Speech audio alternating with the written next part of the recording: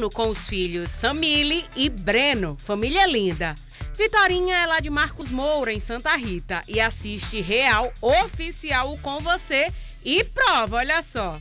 E hoje é dia de festa para uma pessoa que é puro amor, Matheus Silomar.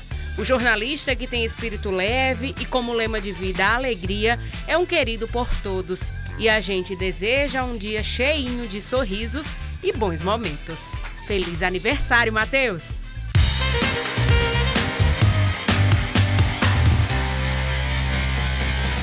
Você também quer aparecer aqui no programa e manda tua foto ah, para o nosso WhatsApp.